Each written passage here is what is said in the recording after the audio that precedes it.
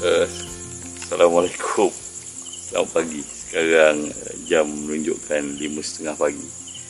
Uh, Kami baru saja sampai ke stesen kereta api Kuala Lipis.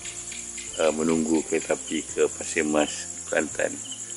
Dijangkakan dalam pukul uh, 6 atau 6 lebih nanti Kereta api akan bergerak ke Pasir Mas, Kelantan Dan dijangka sampai di Pasir Mas jam uh, 12.30 pagi uh, suasana ada sedikit uh, sejuk uh, masih sunyi lagi.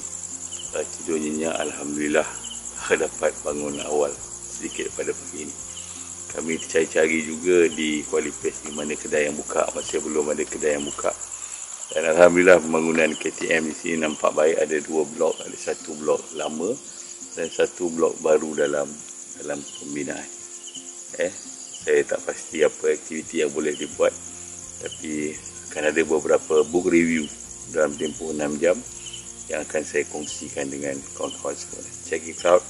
Selamat menunaikan solat